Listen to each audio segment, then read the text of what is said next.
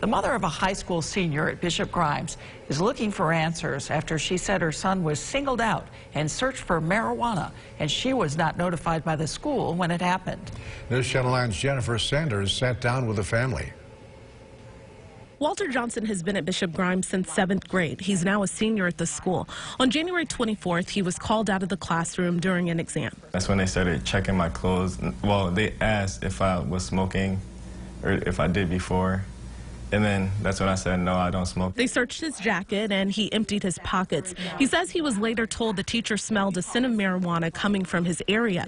They didn't find any drugs on him. That's when they sent him back to the class to finish his exam. After I went back to take my test, I thought they would call someone else out, but they didn't. He was the only student searched in the classroom. Why didn't they keep investigating to see who it was instead of just blaming on one person? Johnson immediately called his mother. She called the school's principal to find out why her son was the only one searched and why she wasn't notified after it happened. Why didn't you um, search the entire area? Um, you know, did you ever get to the bottom of it? Um, you know, how did you expect for my son to be able to concentrate and continue to take his exam? This is his senior year, and you interrupted him in the middle of the class him, not everybody else, but him. She was told to set up a meeting with the school officials. She showed us pages of emails between her and the principal and the superintendent. The responses that I received from them in the email definitely did not satisfy um, the questions that I was asking. And to me, it was almost like they wanted us to just act like it never happened. Her question why was her son singled out?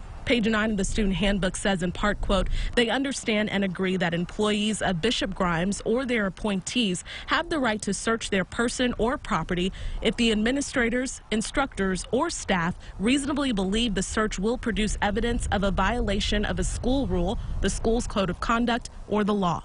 The Johnsons want to know if the staff didn't find marijuana on their son, why didn't the search continue until the school got answers? I never thought that would happen to me. Like, as the years I went through there, and they thought it would be me, cause like I never did anything like that, and I never planned on. So like I don't know, it surprised me. The same way they called him out in front of the class, they should be apologizing publicly in front of everybody. And they failed to do that. They failed to do a lot of things. And I want answers. My family wants answers. And we want to make sure it's going to be comfortable for Walter to continue his um, senior year at the school because his tuition is paid and he's there every day ready to learn. And he just wants to move on with his life. But what the school did was totally unacceptable.